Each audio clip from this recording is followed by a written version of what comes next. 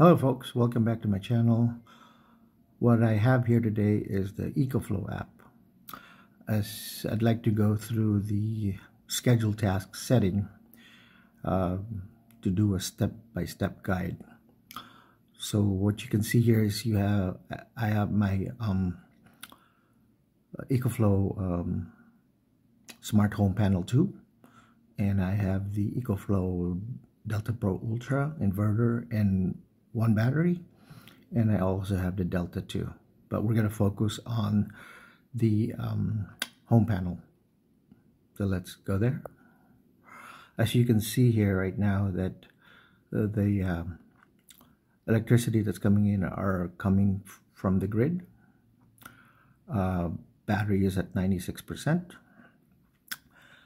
and um, we have the settings the home the grid the circuits um, and circuits are over here. You can see I have the AC air handler and more right?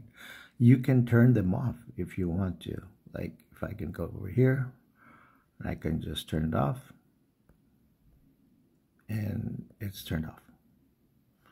If I want to turn it back on just hit that one and it's back on all right so what that means is if like myself I only have one one battery for now. So when I use the EcoFlow um, uh, Delta Pro Ultra battery I sometimes just turn off the um, AC and air handler. Uh, but I plan to add more batteries and probably another inverter. So let's go to um, let's go to settings.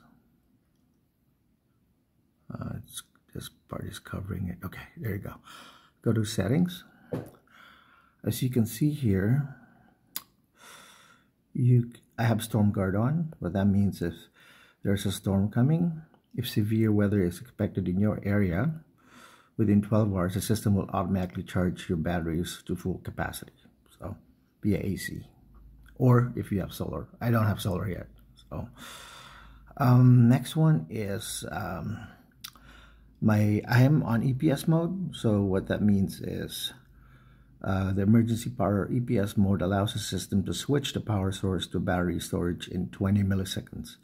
And I tested this already and um, you know, let's just turning off the grid and it's really fast. You won't even um, uh, maybe you know just a, a, a slight uh, flicker of the light, but it's it's awesome.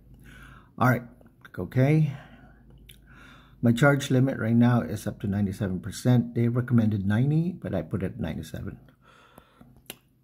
And then generate, generator settings. I, I plan to um, install a generator. I just bought a champion one. I'm going to create a video video about that also. But for now, since my champion is single phase, I set this as single phase.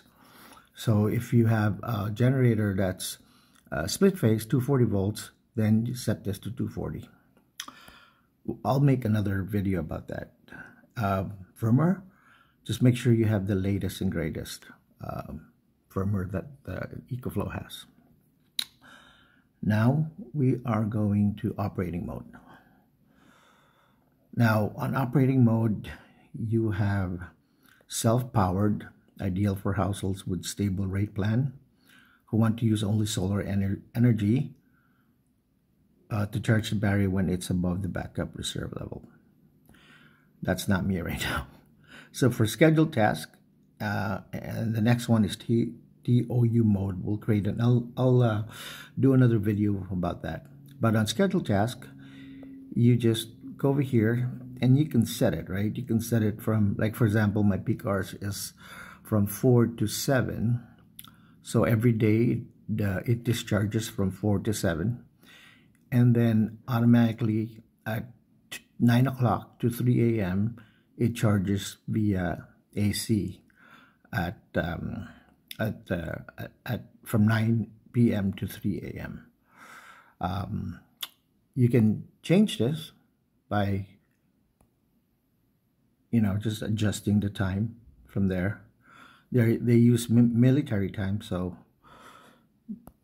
you can do it from there and then you have to click save. You can even disable the um, charging or you can disable the uh, discharging.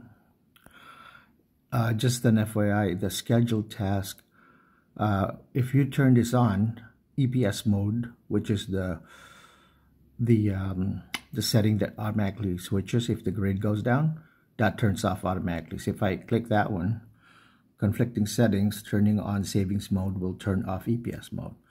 You click confirm, then right now you are on uh, schedule task. So let's say I want to change this to, what time is it right now? 8.30 a.m. So let's do from, let's say 8, 8, set to 8.30, it's already 8.31. I want to save this.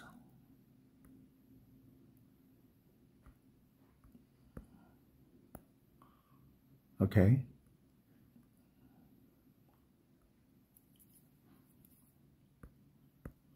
Let's go back there.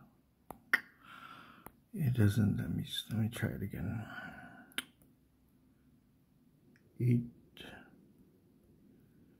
8.30. Okay. There you go, 8.30. Now 8.30, now if I go back now, and then let's wait, you'll see that um, it will switch now from, um, the grid will turn off and the battery will, it will start pulling from the battery, as you can see here right now. So now if I go back, to the battery, you'll see here the device is connected to another device because the battery is connected to the smart home panel 2. So uh, AC output ports are now disabled. So the AC on the uh, Ultra is not working right now. So right now, I have 7 hours and 19 minutes. It's uh, outputting 648 watts. Um, go back there. But the problem with this one is if I go back to circuits, if this kicks in, both of this, the AC and the air handler, then this piece, the battery, well, this will drastically go down to maybe an hour or 45 minutes. So what I do is I go back here, go to circuits, and I just turn off the AC, and I turn off the AC handler, as you can see, both of them, both of them are off. So I hope this helps. Um, when you set up uh, your scheduled task with the EcoFlow Delta Pro Ultra with a smart home panel 2. I'll see you again next time. Thank you. Bye.